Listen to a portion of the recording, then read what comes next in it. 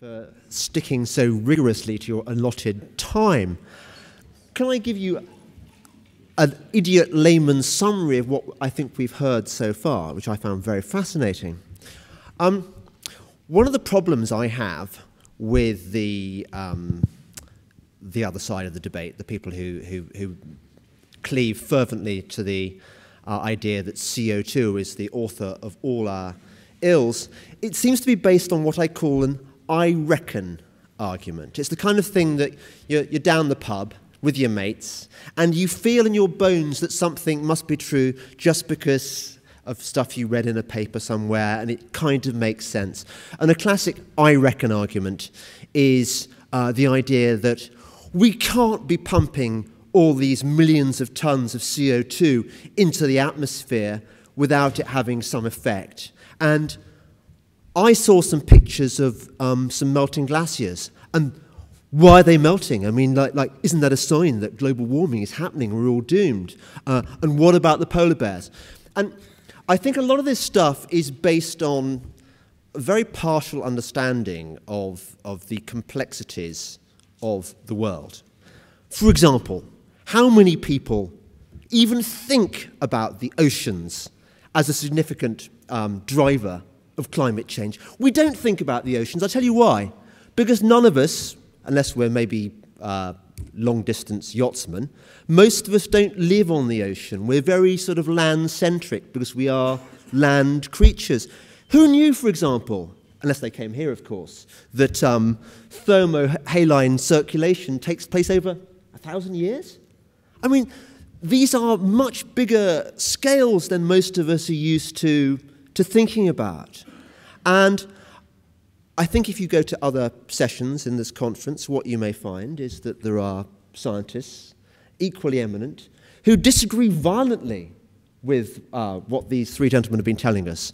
They will tell you that no, it is solar radiation and sunspots and things which drive climate these gentlemen disagree. Uh, what I think we can conclude um, is that this idea that, that CO2 is the main driver of climate change, it's, it's, it's a theory, but it is but one theory among many, and it has become very fashionable through overpromotion, through general public ignorance, that I reckon um, phenomenon that I talked about earlier. Anyway, I'm going to open the, the floor to questions, but first, can I pose to the gentleman of the panel a question of my own, exploiting my privileged position as the moderator? Um, we know that since 1997, there has been no global warming. And one of the, one of the excuses trotted, about, trotted out by the other side is, ah, yes, but the reason for this is um, the heat has disappeared into the oceans. Is that, is that the kind of excuse they've used? Can you explain whether this theory has any validity or whether it was just invented on the hoof in order to, by the other side to justify the fact that there has been no global warming?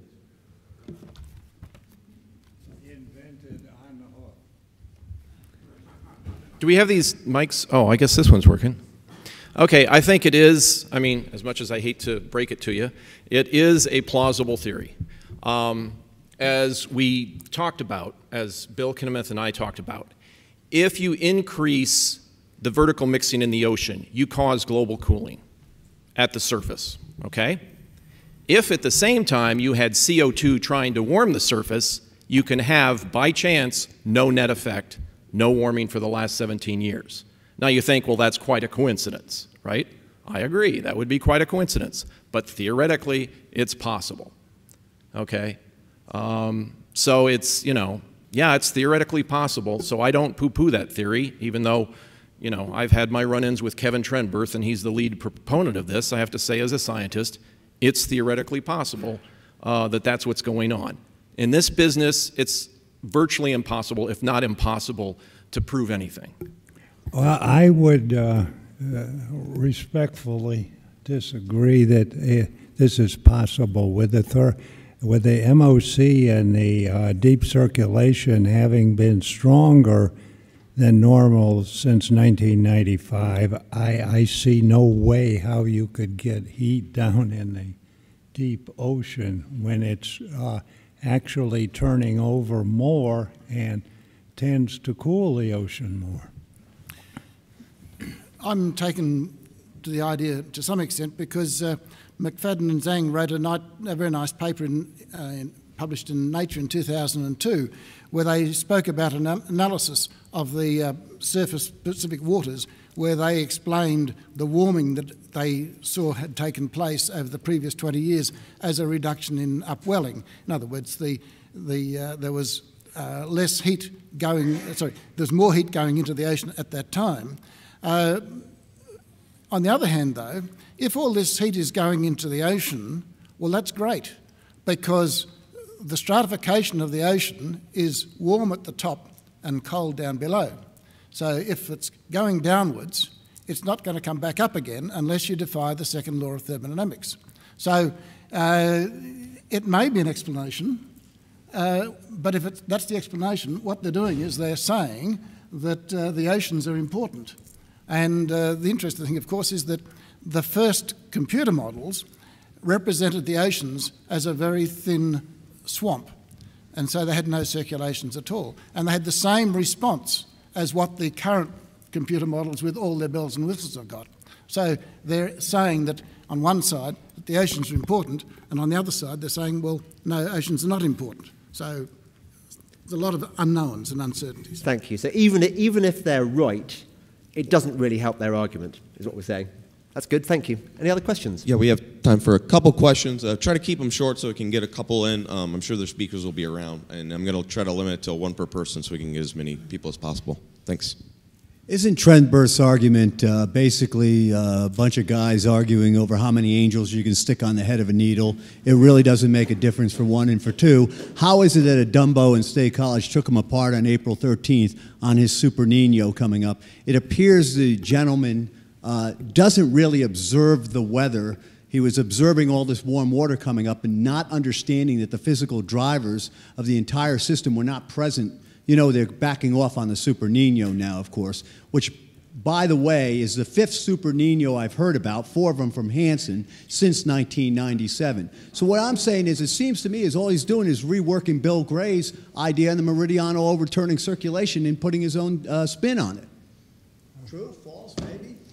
I mean, anything's. Well, I, th I, think that's what Bill Kininmonth was saying. Is he they're they're admitting that changes in ocean circulation can have an effect on global climate. I mean, for many years they were saying, "Oh, there's no changes," and none of the climate models would have ever predicted, you know, what we've seen in the last 17 years. None of them did. Um, so they're admitting that, yeah, natural variability does impact global temperatures.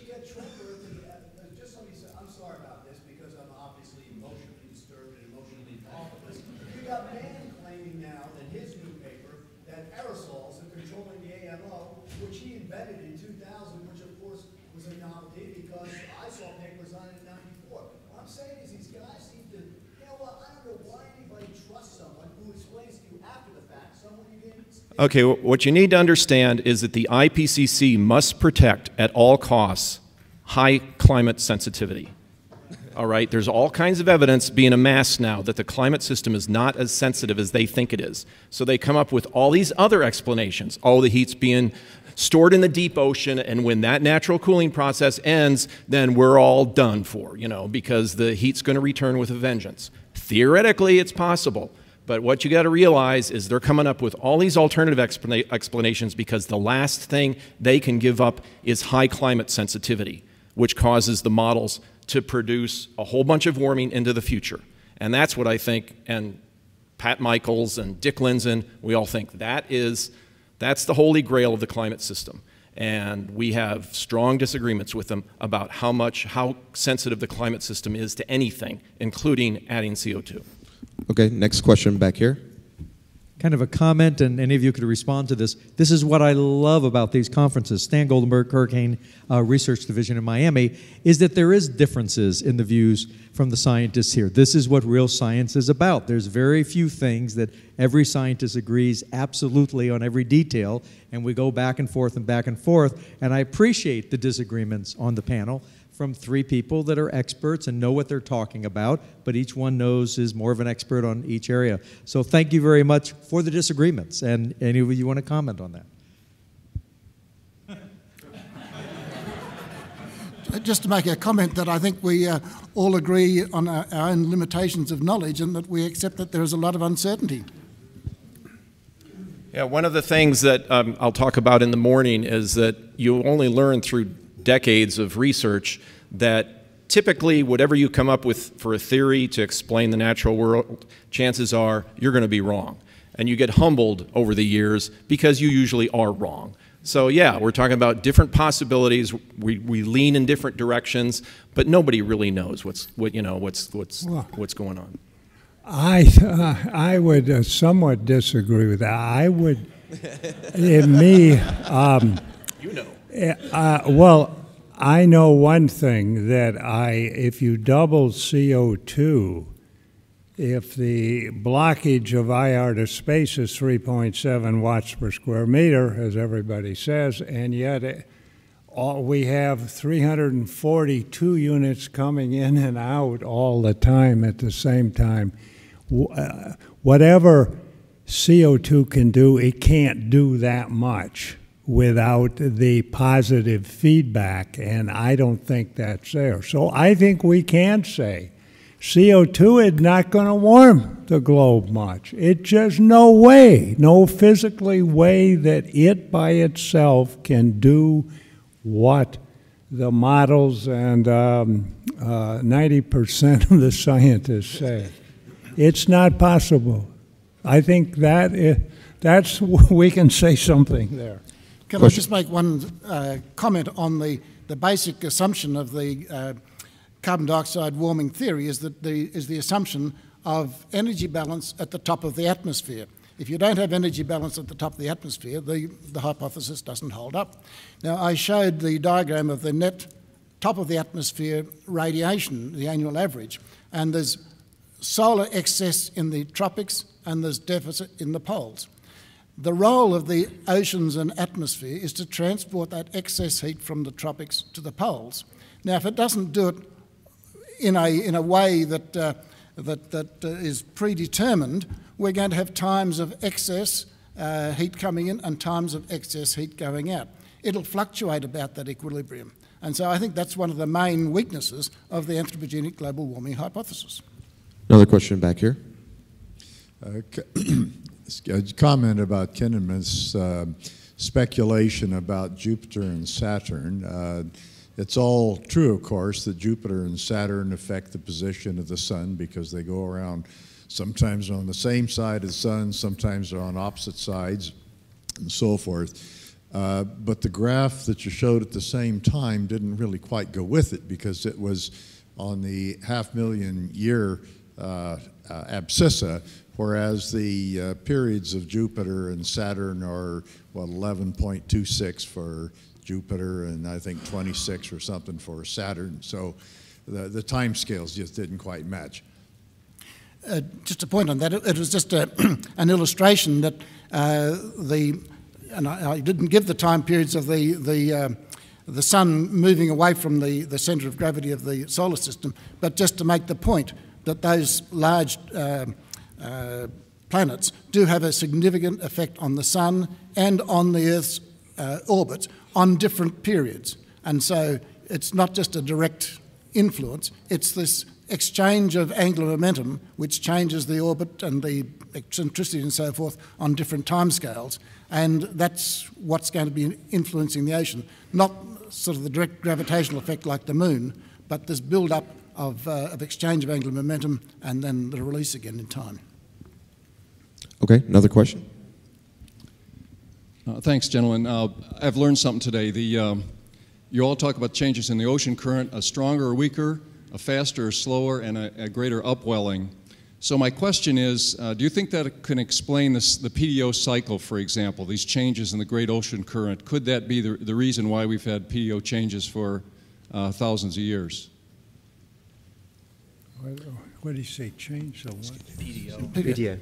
Just, um, I, I'm, I'm not sure that we really understand what changes the PDO, but I spoke about the two uh, scales of, of motion in the ocean. One was the, the ENSO scale, which is interannual, and the other was the very much longer term uh, sort of thermohaline circulation, which is about a thousand years.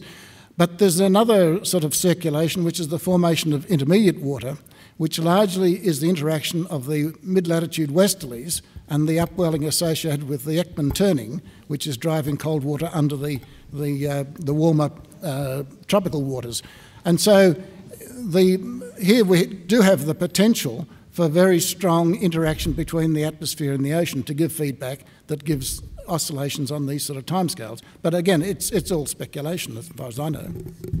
Uh, yeah, I would like to comment. We've been looking a lot at this. Yes, the uh, PDO uh, changes as the uh, thermohaline in the Atlantic. The Atlantic leads away, and the PDO seems to lag with uh, eight, nine years uh, following, but they're related. It's all the MOC circulation. When the um, the PDO tends to go negative following the Atlantic thermohaline being stronger. And when that happens, the MOC, the whole global thing, is a little bit faster, and uh, the globe tends to rain more and tends to slightly cool. They're related. They're definitely related. The whole ocean circulation is related. When the Atlantic changes a certain way, the Pacific will will change too, but with a lag. There's lag. The ocean has these. Uh, longer period fluctuations, and um, they're crucial to understand the climate, I believe. Yeah, the results that I showed are consistent with the PDO explanation, the Pacific Decadal Oscillation. Uh, some people have published the thought that the PDO is a low frequency modulation of El Nino and La Nina. During the positive phase of El Nino, you get stronger I mean, during the positive phase of, of, the PDO, you get stronger El Ninos, which leads to warming. During the negative phase of PDO, you have stronger La Ninas, which leads to cooling. And that's basically what we showed. So, yeah, the PDO is involved uh, to the extent that, and, and, and I agree, yeah. we really don't understand what causes PDO. You know, the, the observational record only has a couple of complete cycles, which is 60 years. So it could be that the PDO goes away next century because it was just one of many natural modes of climate variability that doesn't last forever. Who knows? We don't know. Well, well, except Bill. Uh, no, no, I, I, no, I, I agree very much. I with what Roy just said, but uh, don't. We know something, Roy. We, you sound as if we don't know we know a few things along the I, way. This is the subject of my talk tomorrow morning. What do we know about climate change? And I'll give you a heads up virtually nothing. we have time for one more question. Perhaps humble on asking the last question. I prefer wrestling with the IRS than climate change scientists. Uh, so my hat's off to you guys for the bigger battle. Um, I almost failed thermodynamics in college. It, it was almost my undoing my little bit of understanding El Nino, La Nina has to do more with what I think is underseas volcanic activity and the upswell of the heat from volcanoes along the tectonic plates. That if you run the formula of heat transfer, the atmosphere cannot heat the ocean very deep, cannot impact that greatly, but the volcanic activity under the oceans has the opportunity and chance to transfer that joule heat to change the up well as I'm learning new terms. Is there a comment? I think the question is. Well, from what I hear from geophysicists, the average heat flow, geothermal heat flow on a global basis, is less than 0.1 watt per square meter. It's really tiny. So, you know, even if you talk about variations in geothermal heat flux from, let's say, volcanoes at the bottom of the ocean that change it by a factor of two or three, you're still talking about a really small heat flux. So I haven't seen any evidence that suggests that changes in geothermal heating can have much of an impact, but maybe we don't know that much about what happens at the bottom of the ocean.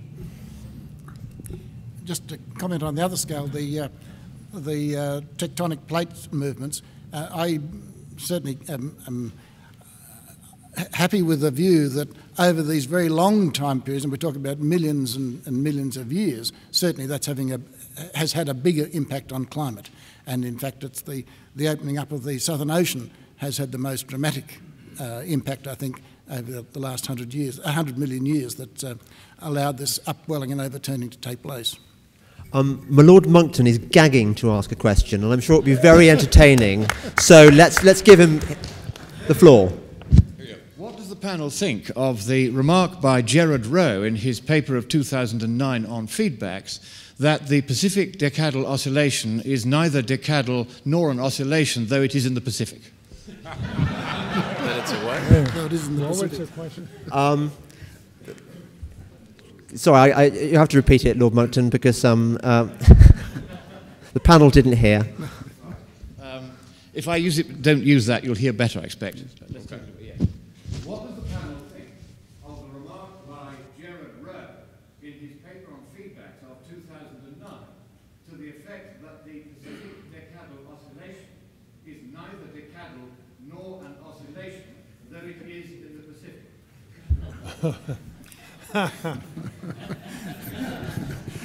We, are talking about semantics and what is a, uh, an instability versus an oscillation versus uh, various other feedbacks and so forth. Um, there is variation takes place, whether you want to define it as, an oscillation or a, an instability or whatever. There is change taking place, and it is in the Pacific. So, um, thank you very much for coming. Hands up who came here not thinking the ocean was that important, but is now convinced that the ocean really is important? well, some of us have had our minds changed. Um, thank you to the panel. Thank you very much. We've changed three minds.